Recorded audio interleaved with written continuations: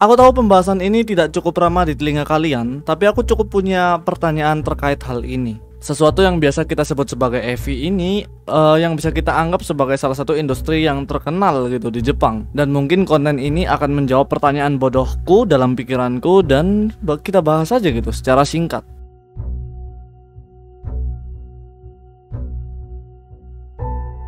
Apa yang kalian bayangkan terkait industri ini? Cewek cakep, gajinya besar, fansnya banyak, atau yang lain. Secara ekspektasi, industri ini terkesan indah bagi banyak orang. Tapi pernahkah kalian tahu jika ada dampak dan harga yang harus dibayarkan ketika industri ini dimulai? Ya, kita akan berbicara tentang Baki Visual Planning, sejarah terburuk dalam industri EV di Jepang. Apa itu Baki Visual Planning?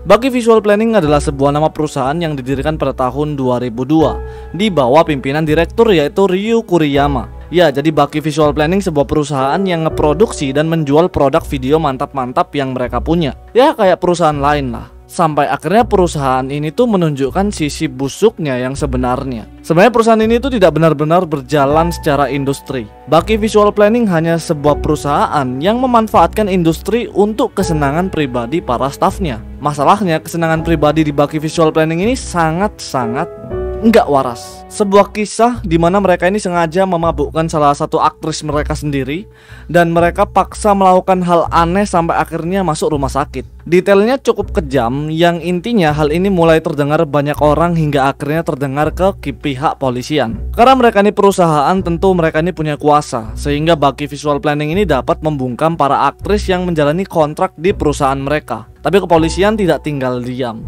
Saat itu hanya satu cara yang diambil oleh kepolisian untuk menuntas kejadian ini, yaitu dengan cara bekerja sama dengan para aktris di perusahaan Baki Visual Planning. Dan tentu saja kepolisian ini mencoba membujuk para aktris untuk bercerita kejadian apa saja yang terjadi di perusahaan tersebut. Walaupun banyak juga yang tutup mulut. Dan itu berujung penangkapan kepada direktur dan staf Baki Visual Planning yang terjadi pada Maret tahun 2005 dan direktur dari perusahaan ini tuh malah menyalahkan stafnya sendiri yang dianggap di luar kendali perintahnya. Padahal dia juga. Ternyata benar ketika digeledah oleh kepolisian, Baki Visual Planning melakukan banyak hal berbahaya kepada aktrisnya sendiri. Dan itu dianggap sebuah produksi. Salah satu contoh di mana Baki Visual Planning ini sengaja tidak membriefing aktris mereka sendiri dan secara tiba-tiba puluhan laki-laki muncul di hadapan aktris tersebut. Dan staf dari produksi ini dengan gilanya berkata jika ini bertujuan untuk video yang realistis. What the fuck?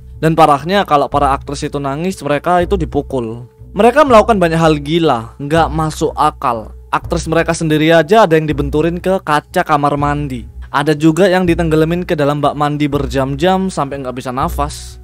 Sungguh nggak masuk akal. Baki Visual Planning bakal tersenyum ramah ketika menyambut aktris barunya. Tapi ketika ia sudah melalui sesi foto dan tanda tangan kontrak, sikap mereka ini secara tiba-tiba berubah. Salah satu aktris dari perusahaan ini pernah berkata jika setelah tanda tangan kontrak, secara tiba-tiba ia itu dijambak dan digituin rame-rame.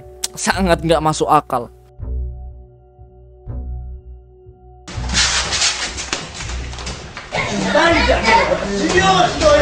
Tapi dari kejadian ini akhirnya Baki Visual Planning ini dihentikan dan Ryu Kuriyama sebagai pimpinan direktur dari Baki Visual Planning ditangkap dan dibawa ke pengadilan distrik Tokyo. Dan di sana ditetapkan jika tersangka ini akan dihukum 20 tahun penjara. Dan lebih gilanya lagi, pelaku ini malah tersenyum dari keputusan yang diberikan oleh hakim. Dan ini menjadi sebuah istilah sampai detik ini jika ada sebuah kejadian tipu menipu dalam industri semacam ini akan disebut sebagai insiden baki.